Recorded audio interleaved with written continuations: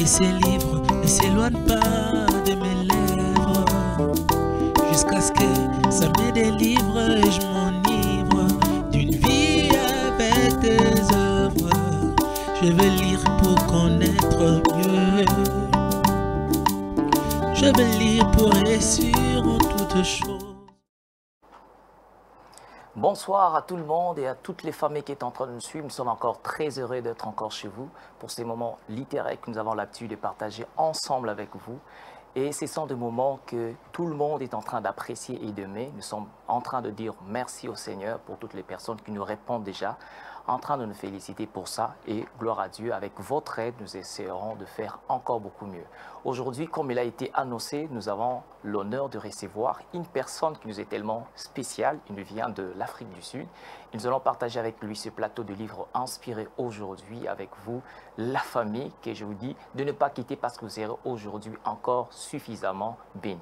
Il s'agit aujourd'hui de pasteur. Il est aussi écrivain, le pasteur Jean-Claude Nagano. Bonsoir, pasteur. Bonsoir, pasteur Girès. Bonsoir à tous les téléspectateurs. Nous sommes très heureux de vous recevoir dans notre plateau Livre Inspiré euh, que vous avez suivi aujourd'hui. Euh, vous avez l'honneur d'être là pour que nous puissions parler littéraire, littérature.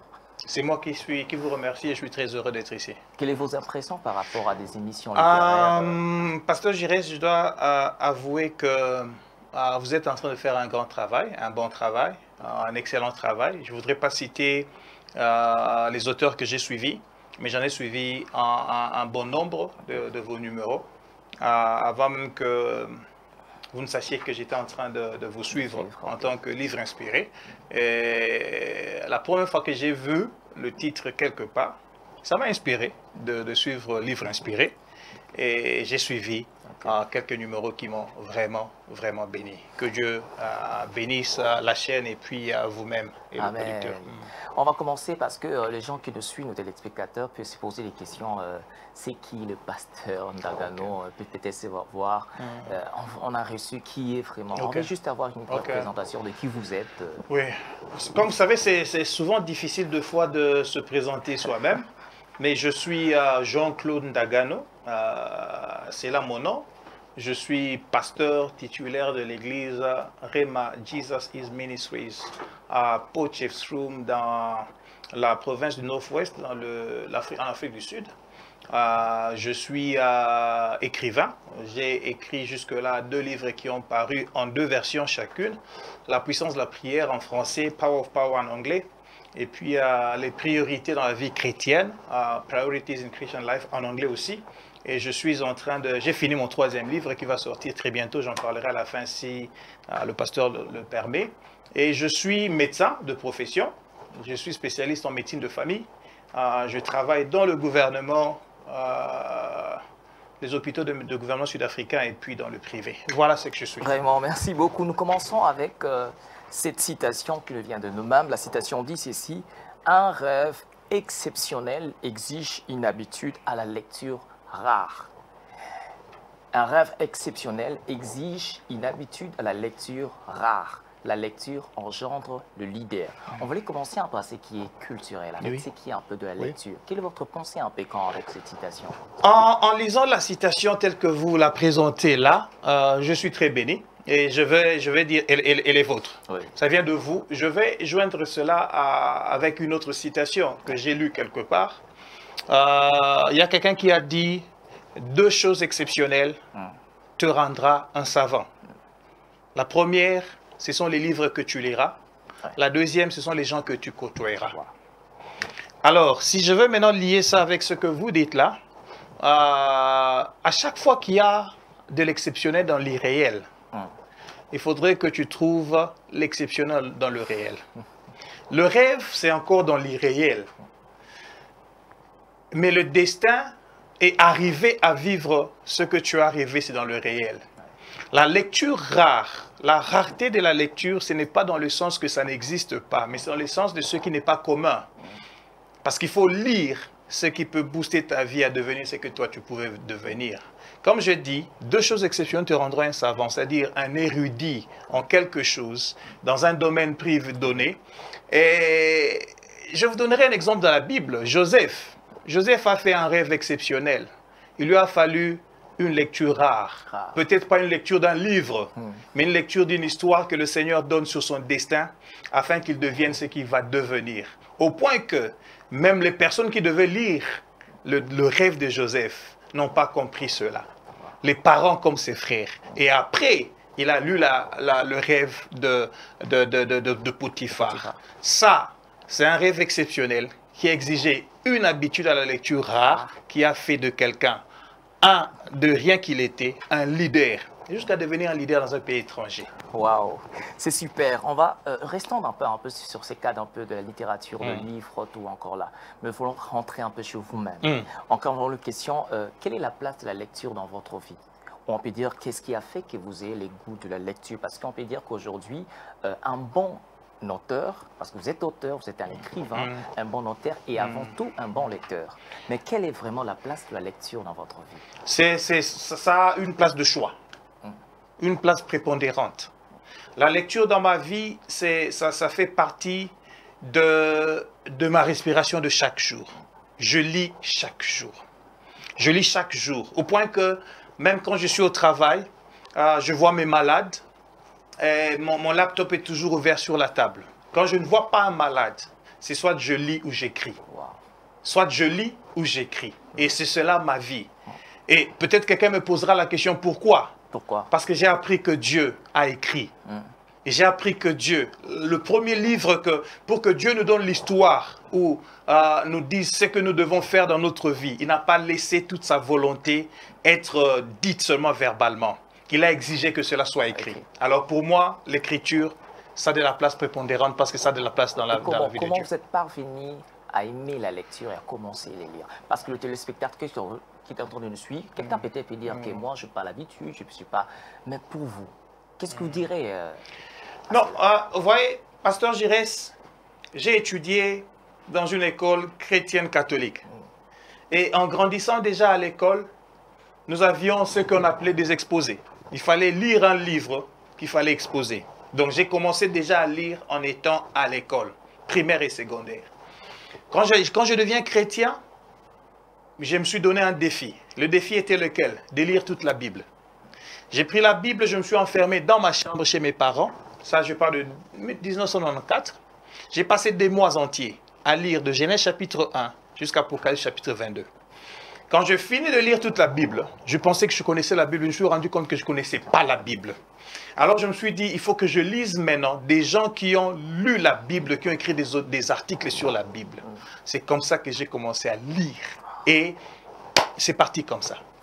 Je suis en train de rappeler nos téléspectateurs que le pasteur Jean-Claude Tangano a écrit deux livres. Je ne peux pas dire seulement qu'un livre. Il a écrit par exemple ce livre aussi sur la puissance de la prière. Un livre aussi, aussi sur, euh, en version aussi anglaise, la puissance de la prière. Mais aujourd'hui, on va aborder ces livres ici sur le première chose en premier. C'est notre thème d'aujourd'hui qu'on va aborder euh, dans ces numéros de livres inspirants. On va commencer le pasteur. Oui. Pourquoi parlez-vous de première chose? Est-ce que pourquoi parlez-vous de première chose Comme si euh, il y, a- il y a ce qu'on appelle, ce qu'on appelle, on peut avoir l'idée de le priorité aux priorités. Pourquoi parlez-vous de première chose Je parle de première chose parce que quand vous lisez la Bible, ça commence par au commencement. Donc Dieu raconte l'histoire de la vie de l'homme en relation avec lui en parlant du commencement. Donc il y a toujours quelque chose qui doit être placé au commencement. Et comme il y a idée de commencement, je dis aussi que quand tu veux connaître la pensée de Dieu, il faut rentrer au commencement. Lorsque tu retiens et tu comprends ce que Dieu veut et tu connais les priorités de Dieu, tu sais ce qu'est la pensée de Dieu sur la chose. Voilà pourquoi, lorsque je parle de première chose en premier, c'est parce qu'aujourd'hui l'Église et les enfants de Dieu se préoccupent à beaucoup de choses qui sont secondaires, des choses qui ne sont pas utiles au salut, des choses qui n'amènent pas ou qui, nous ne, mènent, qui ne nous amènent pas à, influencer ce monde. Nous sommes encore dans des choses trop secondaires, alors qu'il y a des choses qui sont primordiales. C'est pourquoi je dis, est-ce qu'on peut ne fût-ce que rentrer sur les premières choses qui doivent être placées en premier, au lieu de ne pas c'est pour ne pas se perdre dans des choses qu'on est en train de chercher. Quand vous parlez, par exemple, le, le première chose de la vie chrétienne, les priorités Mhm. dans, euh, de la vie chrétienne dont vous faites allusion dans ces livres, est-ce que cela revêt un caractère obligatoire pour tout chrétien? Oui, oui, je dis oui. Un caractère obligatoire, oui. Un caractère obligatoire, peut-être aussi non. Mais il faudrait maintenant que je m'explique. Euh, Dieu est venu dans notre vie. Dieu ne s'est pas obligé dans notre vie. Il ne se force pas. Il ne se force pas. Dieu a donné à chaque homme qu'il a créé ce qu'on appelle un libre choix, où on peut se décider d'accepter de faire ce qu'il veut que nous fassions ou ne pas le faire. Non. Maintenant, quand il présente ses priorités, il dit, oui, c'est obligatoire que tu aies ceci pour que tu marches avec moi. Mais deuxièmement, je voudrais te dire, c'est nécessaire, c'est indispensable, c'est même, si je peux dire, primordial pour toi de recevoir ces choses. Donc, ce sont des choses qui sont obligatoires dans le sens que c'est pour notre bien lorsque nous les acceptons. Mais Dieu ne nous force pas à les accepter toujours. Il y a une chose encore dans ces livres, vous parlez, euh, quand vous essayez un peu de parler de première chose, Mm. je voulait un peu, est-ce que la détermination de, de choses prioritaires ou des choses premières, ça la vient de nous ou de Dieu qui va le déclarer que c'est prioritaire Pasteur, ça Parce je, je peux dire encore, excusez-moi, parce que dans, euh, sur la page 110, dans ces pages, vous Mm. dites que nos priorités ne sont pas toujours les priorités des dieux. Exactement. C'est pourquoi je le dis comme ça parce que ça, ça ne devrait, ça ne vient pas de nous. Dans ce sens que il y a des choses que nous pouvons penser qu'elles sont prioritaires. Comme vous avez mentionné la page 110, je crois que je suis en train de, de- de dire qu'il y a des choses qui sont prioritaires pour nous. Euh, nous vivons dans un monde où l'homme veut sa sécurité. Le pays où moi je viens, tout le monde veut se rassurer que sa maison est bien fermée. Nous payons beaucoup d'argent pour les maisons de sécurité. Nous avons des caméras à la maison pour se rassurer que tout se passe bien. Maintenant, on a même des caméras sur la rue où vous êtes en train de, de vérifier si la personne qui est en train de marcher sur la rue est quelqu'un de votre quartier. Et quand vous voyez quelque chose d'anormal, les voisins signalent et puis on doit appeler la police. Donc tout ça, c'est parce que l'homme a trouvé qu'il y a des choses qui sont trop importantes pour lui. Et l'homme croit que ma sécurité, c'est une priorité. OK? L'homme croit que ma sécurité, c'est une priorité. Mais parfois, au souvent, les, les choses qui sont prioritaires pour nous, Dieu te dit, ce n'est pas une priorité, parce que moi, je peux t'assurer cela. Pourquoi tu ne viendrais pas à moi seulement et te rassurer que tu as tout ce dont que, que tu cherches encore? Parce qu'il a dit cela. Cherchez premièrement Ouais. le royaume des cieux et sa justice, et tout le reste vous sera donné par-dessus tout. Donc il y a quelque chose qui est prioritaire par rapport à tout le reste que tu es en train de chercher. Voilà pourquoi il est important de pouvoir écouter Dieu, parce que c'est lui qui détermine quelles sont les priorités. C'est lui qui a dit, moi d'abord le premier. Mm. C'est lui qui a dit, il n'y a pas d'autre Dieu que moi. Mais pasteur, excusez-moi de Mhm. vous couper la parole parce que sur la page 7, euh, 7 et 8, Oui. vous essayez d'attacher les priorités Mhm. avec les concepts euh, urgence et préférence. Oui. D'après vous, est-ce que tout ce qui est urgent revêt-elle un caractère d'importance Page Ou 7. parce que, parce, parce que, parce que, euh, je viens encore enrichir parce que il existe aussi des choses qui sont urgentes mais qui ne sont pas Ok, importantes. exactement. Quand vous le dites, euh, je vois la page 7 et 8, euh, je suis encore à l'introduction. Je suis en train d'expliquer c'est quoi les priorités. Et je dis, euh, je crois là, je suis en train de, de montrer même aux gens, je dis si tu es conducteur, tu es dans un pays où l'on conduit à droite. Nous avons ce qu'on appelle la priorité de droite. C'est-à-dire que quand j'arrive à un endroit, nous sommes dans un carrefour, celui qui est à droite doit passer le premier. Oui. Doit passer le premier. Mais celui qui passe le premier, est-ce qu'il a toujours une urgence? Pas Pas nécessairement. oui. Celui qui passe en premier peut avoir une urgence. Il va se fâcher si toi tu passes avant lui parce que tu bloques son urgence. Deuxièmement, une priorité devient aussi une préférence dans le sens. Si je sais que ceci est moins prioritaire que celui-là et que je préfère faire ce qui est prioritaire, j'en fais une préférence. Quand j'en fais une préférence, je donne à cela un sens d'urgence. Tout ce qui est prioritaire n'est pas urgent. Parce que urgent veut dire pressant.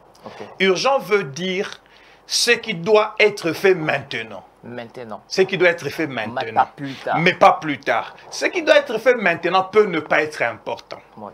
Mais il y a des choses que Dieu demande que tu fasses maintenant parce que c'est important. C'est pourquoi je dis il faut de la nuance là-bas. Dieu dit il faut que tu sois sauvé. Sois sauvé maintenant. Ne remets pas à demain ton salut parce que tu ne sais pas ce qui peut t'arriver demain. Est-il urgent d'être sauvé? Oui. Est-il important d'être sauvé Oui. C'est urgent. C'est urgent et c'est important. important. Mais maintenant, il y a quelqu'un qui dit, je veux être béni. Si je viens en Christ, je serai béni. Parce que Ephésiens 1, verset 3 dit, en Christ, nous sommes déjà bénis.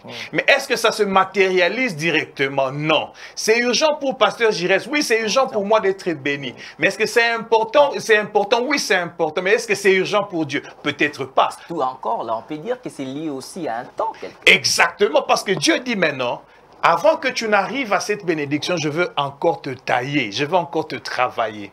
C'est urgent pour moi d'être béni. C'est urgent pour moi de vivre les bénédictions matérielles, mais ce n'est pas encore urgent pour Dieu, bien que ce soit important pour lui qui te bénisse. Ah.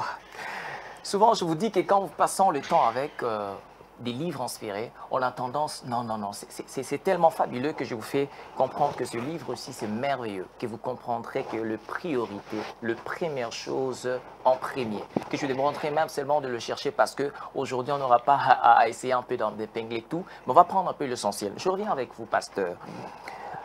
Alors, en lisant les priorités énumérées dans ces livres, vous commencez avec la première priorité, Dieu d'abord. Dieu avant tout. Dieu seul. Mais une question que je me suis posée, pensez-vous pas que cela euh, pensez-vous pas que cela ne devrait être un reflet naturel tout être humain? Oh, euh, pasteur, je suis d'accord avec toi, mais je vais te dire aussi que ça devrait être un reflet naturel, un réflexe naturel, mais ça ne l'est pas toujours. Pourquoi? Je vais le dire, je vais l'expliquer simplement. Vous savez que nous avons trois catégories de personnes. Nous avons les hommes qu'on appelle animaux. Les hommes animaux, c'est-à-dire ils ne sont pas en Christ, ils ne sont pas dans le Seigneur. Nous avons les chrétiens qui sont charnels, nous avons les chrétiens spirituels. Un homme animal, c'est quelqu'un qui veut vivre sa vie tel qu'il veut vivre. Et pourquoi on l'appelle animal? Parce qu'un animal fait ce qu'il veut. Un animal euh, agit par instinct. J'ai faim, je dois manger. Je n'ai que faire à qui appartient cette nourriture, je vais la manger. Ça, c'est un homme animal. C'est-à-dire là maintenant, même si Dieu dit ne touche pas, mais parce que moi je veux toucher et que je suis animal, je vais toucher. Un homme charnel, c'est celui qui a dit j'ai reçu Christ. Mais j'ai fait un effort pour marcher comme Christ veut que je marche, mais je n'arrive pas. Paul le dit dans Romains chapitre 7. Le bien que je veux faire, je n'arrive pas à le faire. Le mal que je ne veux pas, je le fais. Et il dit, malheur à moi, qui me délivrera? Il faut maintenant être délivré pour devenir, aller dans le, dans le côté de l'homme spirituel. Qui maintenant se dit, ma priorité à moi, c'est Christ. Tu vois, les deux autres là-bas voudraient bien. Le, le charnel voudrait bien, mais n'a pas. Il ne le fait pas toujours. L'animal n'a même que faire Bien de ça. que c'est naturel. Bien que c'est naturel. Alors, pour le chrétien spi- spirituel, ça devient même surnaturel. Parce que c'est le Saint-Esprit qui dépose maintenant en lui le vouloir de mettre Dieu en priorité, mais aussi le fait de vivre que Dieu vraiment, qui montre que Dieu est en priorité pour lui. Parce que, que tu le veuilles ou non, Pasteur Girès, je l'ai dit, c'est Dieu lui-même qui a dit, je suis, je suis le premier et le dernier. À part moi, il n'y a pas d'autre Dieu. C'est-à-dire, je l'ai dit dans mon livre, Oui. dans l'ensemble Dieu, il n'y a qu'un seul élément. Donc cet ensemble, c'est un singleton. Alors, c'est pas pour tout le monde. J'ai- été en Inde, j'ai été en Inde, j'ai vu des gens avoir 3000 dieux, une famille avoir, avoir 4000 dieux, avoir 3000 dieux. Mais c'est seulement, eux, ils vont te dire aussi que Dieu est une priorité pour eux, parce que c'est naturel. Mais c'est quel Dieu Ouais. C'est là le problème. Je, suis en train de lire, de lire sur la page euh, 10. Vous dites, vous dites ceci. En tant qu'enfant, en tant, en tant qu'enfant de Dieu, Mm. notre priorité doit être Dieu. Pasteur, est-ce que cela n'est qu'une exclusivité consciente pour, pour les enfants de Dieu ou pour tout autre homme en général? Pour tout homme en général, ce serait l'idéal. Pour un enfant de Dieu, c'est préférentiel.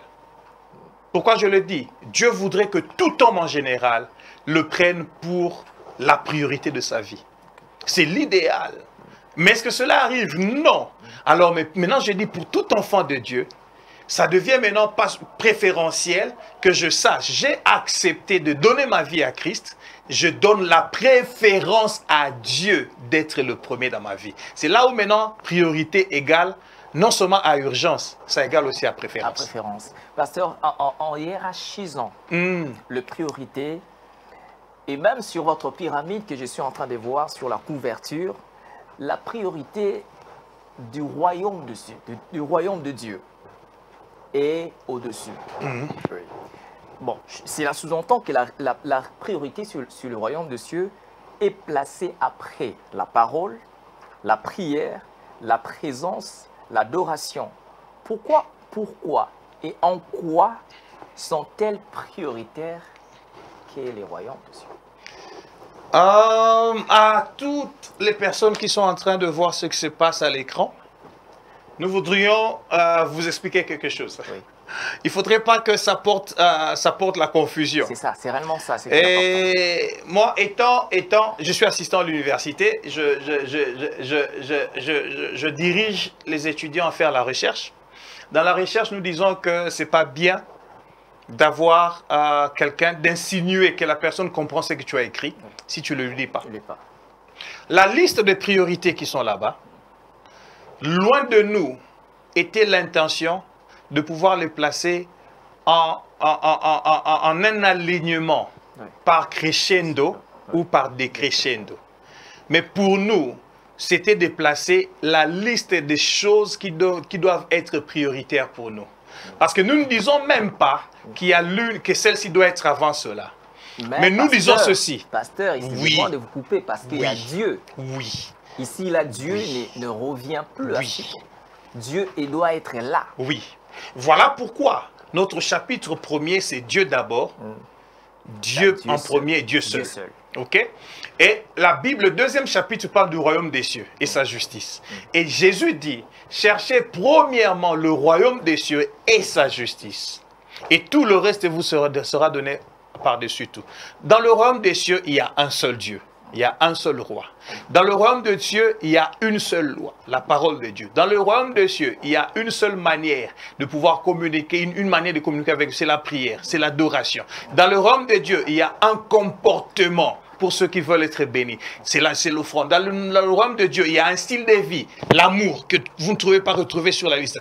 La question m'a été posée, je crois, par pasteur Henri Papa, lorsque j'avais présenté le, le livre dans son église pour la première fois. Il dit, pasteur, Pensez-vous que ce sont là toutes les priorités que vous pourriez énumérer? Je dis non. Même Paul dit nous connaissons en partie. Même quand j'étais en train de, le livre était en train d'être publié, je me suis rendu compte qu'il y a beaucoup de choses que j'ai pas écrites. Je voulais bien ajouter, mais je me dis oh voilà pourquoi il y a beaucoup d'enfants de Dieu, Ouais. des, des écrivains comme Pasteur Giresse, qui pourront écrire un autre livre sur les priorités. Par exemple, en, en- en- en y, en y ajoutant l'amour, Mm. Parce que la Bible dit car Dieu a tant aimé le monde qu'il a donné. Oui. La Bible dit, euh, il y a l'amour, il y a la foi, l'espérance qui reste le plus grand, c'est l'amour. Donc l'amour, c'est une autre priorité. Une autre priorité. Dieu a aimé qu'il a donné, mais est-ce que tout celui qui donne a aimé? Il y en a qui donnent sans aimer. Parce qu'il y a une question, quand vous êtes en train de parler des numérés, vous parlez de la prière.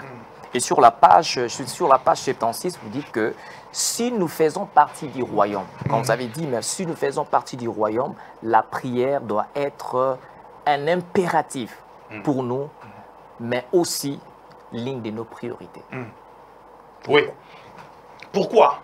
Parce que lorsque nous sommes dans le royaume, Jésus a dit chercher d'abord le royaume de Dieu royaume. et sa justice. Quand on parle de sa justice, c'est la manière de Dieu de faire les choses. Dans la manière de Dieu de faire les choses, il veut communiquer avec l'homme qui est citoyen de son royaume. Dans ce royaume, Dieu est le roi. C'est seule sa loi qui passe. C'est ce qu'il a dit qui passe. Mais comment entrer en communion avec ce Dieu qui est mon roi, qui n'est pas très loin de moi, qui voudrait être plus près de moi? C'est en communiquant avec lui. Et un des éléments, des éléments de la communication, à part tant d'autres, parce qu'on peut on parle avec Dieu par l'adoration, par la louange, on parle avec Dieu, la prière, et tout ça sont des prières. C'est le moyen important, impératif, en étant citoyen dans le royaume, pour être en communion avec le Maître. Wow, nous sommes en train d'évoluer. et même de terrir. C'est un merveilleux livre que je vous encourage vraiment de le chercher. Ça parle de beaucoup. C'est vraiment une richesse pour les enfants de Dieu en particulier, mais pour tout homme aussi en particulier. Mais nous sommes en train d'atterrir. Mais pasteur, il y a une question encore. Aujourd'hui, nous sommes en train de vivre aussi, dans notre d'observer de notre milieu chrétien.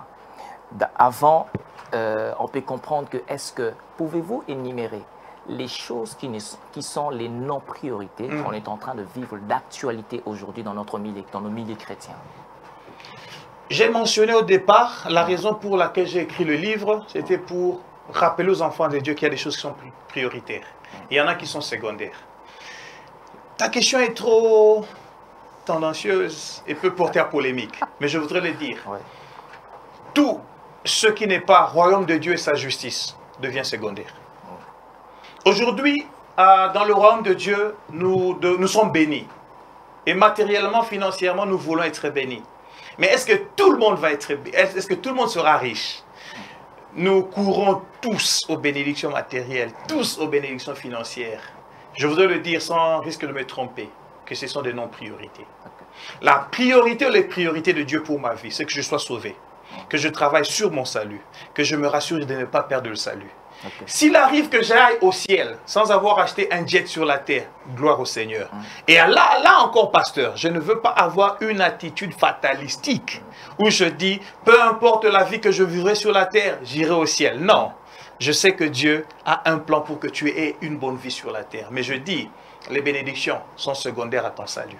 Ça, c'est un- une non-priorité pour moi. Parce que vous savez que si on, si on essaie d'atterrir sans, pour, sans cette question, on risquera de rater quelque chose. Mais la question essentielle encore que nous avons trouvée dans tous les spectateurs, téléspectateurs qui sont en train de suivre, comment faire pour que les choses qui sont importantes, qui sont prioritaires, arrivent à devenir prioritaires Que faire? Qu'est-ce qu'à faire un, un- un téléspectateur qui est en train de suivre veut dire que faire pour commencer à placer la première priorité, Dieu? Comment faire pour placer la, la deuxième, on peut dire ça comme ça, la parole, la prière jusqu'au royaume. Que faire? Qu'est-ce qu'il faut faire? Il faut acquérir la connaissance. Acquérons la connaissance. Voilà pourquoi Dieu insiste que la connaissance est très importante. Il dit, mon peuple est détruit par manque de connaissance. Et pasteur, lorsque vous lisez ce verset-là, Osée 4, verset 6, vous allez même voir que Dieu dit, à cause du manque de connaissance, Je vais te rejeter. Donc le manque de connaissance va te disqualifier. Mais la connaissance va te qualifier. Voilà pourquoi le- le- à la première question sur la citation, lorsque tu as dit que la lecture va faire, va produire des leaders, je suis tout à fait d'accord avec cela parce que la lecture te distingue des autres. La lecture te permet de côtoyer des hommes. Vous savez, je disais, à- j'ai dit à des gens, moi, je connais le cœur du bishop Oedepo par rapport à ces choses. Comment? Je ne l'ai jamais vu, je ne l'ai jamais côtoyé en le lisant. lisant. Je le lis beaucoup, je le lis beaucoup jusqu'à comprendre ce qu'il a dans son cœur. C'est comme ça, la lecture te permettra de côtoyer des grands. Donc la connaissance, elle est importante pour que tu connaisses. C'est par la connaissance que tu vas aiguiser ton savoir. Et si tu connais, tu deviendras un sav- un savant. Wow. Vous, êtes, vous êtes en train de parler, ceci, pasteur, nous sommes en train d'atterrir déjà. Vous êtes en train de parler sur la page 14. Vous dites ceci, lorsque tu fais de Dieu ta priorité, il fait de toi sa, Sa priorité. priorité. Te procure beauté, fermeté, euh, stabilité, sécurité, santé, fertilité. C'est- un chapitre de la Bible que j'ai trouvé là. C'est psaume. euh, Ouais. C'est un des psaumes. C'est quel psaume? Ici, c'est psaume euh, 16. 16. Psaume 16, quand vous lisez Psaume chapitre 16, c'est, c'est- ça, ça- ça donne, ça donne euh, des bénéfices que peut avoir un homme de Dieu, un homme qui a fait de Dieu sa priorité. Je loue Dieu. Je fais de Dieu ma priorité dans ma louange, dans mon adoration. Voilà ce que Dieu fait de moi. Et juste un peu de beauté dans le rime. Parce que, vous savez, l'écriture, quand on écrit, c'est bien d'écrire avec euh, un style. Un style, ok. Un style simple, j'aime, mais un style beau, c'est aussi bien. Les rimes peuvent aller aussi dans le style. Et ça, c'est la beauté du style. Vraiment, lorsque tu fais Je m'excuse même pour le dire. C'est pourquoi le titre, même quand je dis les premières choses en premier, j'ai utilisé une figure de Le style. oui. La redondance ou encore Ouais. le pléonasme. Le pléonasme, oui. monter, monter en haut. Ouais. C'est juste pour insister. Parce que monter, c'est déjà monter, c'est aller en haut. voilà un peu. lorsque tu fais de Dieu ta priorité, il, fait, de toi, sa priorité. Parce que nous sommes en train d'atterrir. Il y a des gens, par exemple, qui sont en train de demander où trouver ces livres, parce que encore sur la prière, où, où Mm. trouver ces livres, ici à Kinshasa et partout même, euh, où trouver ces livres. Vous savez, les livres euh, sont à Kinshasa en copie dure. Euh, j'en ai encore, je crois, à l'église Trône de Grâce. J'en ai encore à l'église de la Résurrection à Lemba. J'en ai encore. il y en avait encore à Philadelphie. Je ne sais pas si c'est fini. Mais sinon, euh, les gens peuvent aller aussi sur Amazon. Euh, sur Amazon, Jean-Claude Dagano, les premières choses en premier. Mais jusque-là, mes livres sur Amazon sont en version. En- euh, non, non, En pas- français. euh, en français aussi, mais en version. euh, en software, Software, en ok. e-book. E-book, Ah, ok. Donc, j'ai pas des versions dures. Mais bon, la technologie a avancé. Je lis aujourd'hui plus sur ma tablette et mon téléphone que des livres en papier comme ça. J'en ai beaucoup, mais j'en ai aussi beaucoup sur... Vous euh, parlez, vous parlez au débit qu'il y a encore un autre euh, livre que vous publiez euh, bientôt. Ce serait le peut-être le téléspectateur peut commencer aussi déjà à y, à y penser. Le troisième livre vient au mois d'août, au mois de juillet, le dernier samedi du mois de juillet. Et Je reviendrai à Kinshasa pour présenter les livres. Il est intitulé Les 4 D sur le pas du succès. Le 4 D. Je parle de, du désir, de la décision, de la détermination et de la discipline Wow. sur le pas du succès. Vraiment, nous sommes très heureux de partager ce moment littéraire avec vous. Je vous rappelle toujours dans notre euh, page aussi de à lire, il y a des livres de personnes qui ont passé ici. Il y a le livre sur euh, la mentalité de vainqueur de pasteur euh, William de- de France qui est passé ici. Euh, vous pouvez encore en, en- en- en trouver, en chercher. Il y a plusieurs livres ici sur euh, euh, de le docteur Silas, sur Bâtisseur des Nations, tous ces livres ici. Mais avant que nous puissions finir, nous allons donner le mot de la fin à notre euh, invité, le, pasteur Jean-Claude Nagano, votre euh, mot de la fin à ce public, à euh, cette famille qui est en train de nous suivre. Qu'est-ce que vous leur direz? Ah, frères et sœurs dans le Seigneur, c'est un honneur pour moi. Ça a été un honneur pour moi de partager euh, ces moments précieux qui sont les vôtres, vous en train de nous suivre et moi, nous en train de vous parler. Et je vous remercie pour cela. Ma prière, ma requête, mon souhait, c'est que vous puissiez, nous puissions ensemble trouver ce qui est prioritaire et que nous nous attachions à la priorité. Que nous n'oublions jamais et que nous ne comportions jamais comme Marthe, qui a Jésus dans sa maison, mais qui va se précipiter au service alors que Christ est là. La présence de Dieu, l'intimité avec Dieu vaut plus que le service. À tous ceux qui servent Dieu, Ouais. ne serve jamais Dieu si tu ne t'es jamais assis à ses pieds. Sois un mariste, une Marie, assis aux pieds de Jésus et serre-le. C'est la priorité de notre vie en tant qu'enfant de Dieu. Que Dieu vous bénisse. Que Dieu nous bénisse. Moi, je vous donne rendez-vous la semaine prochaine pour un autre euh, numéro de livre inspiré. Ce que je veux seulement vous faire euh, rappeler, c'est que continuons à lire. Ce que je dis seulement que vous ne pouvez pas faire des choses pour devenir grand. Vous ne devez pas chercher à faire des choses pour devenir grand. Commencez à lire et vous deviendrez un grand. Donc, je vous dis bye pour la semaine prochaine et restez bénis. Ce- Cette émission, vous pouvez le trouver sur notre chaîne YouTube. Vous pouvez même s'abonner pour encore ne pas rater la prochaine euh, diff- diffusion de notre émission. Bye bye pour la semaine prochaine.